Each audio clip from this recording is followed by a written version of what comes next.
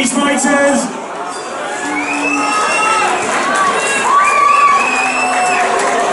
Your winner by TKO, ladies and gentlemen, give it up.